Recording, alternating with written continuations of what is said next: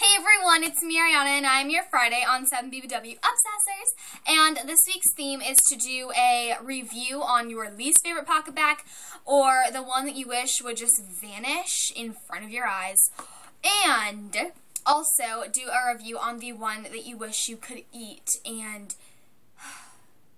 yeah. So, the first one I wish that would vanish is the Fresh Lavender. Okay, so now I know a lot of people like this scent, and it's totally fine if you do. I'm not like, I don't hate you if you like this scent or anything, but I just don't like it. It smells very relaxing to some people and very, like, calming, but to me it just smells...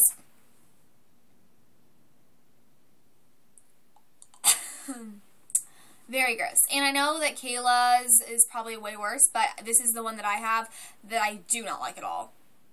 Ugh, it just, mm-mm.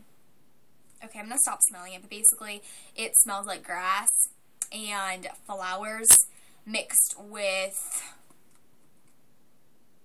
smells like grass and flowers mixed with nail polish. You know that strong scent in nail polish remover? Yeah, finally got a good description for it. it smells like nail polish remover, grass, and flowers exactly what it smells like. Don't like it, and I wish that it would just vanish. Okay? Nothing. Whatever. Okay. Next, the PocketBac I wish I could marry and then eat. If that is okay. Um, the one that I wish I could, like, marry and whatever else is the lunchbox. I just dropped my baby. Okay sorry, is the Lunchbox Honey Pretzel. And this PocketBac is, sorry, don't mind my nails, guys. I'm getting them done in like a week. Um, but, yeah. It's the Lunchbox Honey Pretzel. This PocketBac, huh, this PocketBac. Let's just talk about this PocketBac. This PocketBac is absolutely 100% amazing, and I will never have one that tops this. Now, I have so many favorites. I actually just recently, like, got PocketBacs today if you follow me on Instagram. If not, down below. I just got some PocketBacs today, and I recently have like a new top 10 favorites because I got some good pocket, PocketBacs today. But this one still will always be my baby and still will always be the one that I cherish.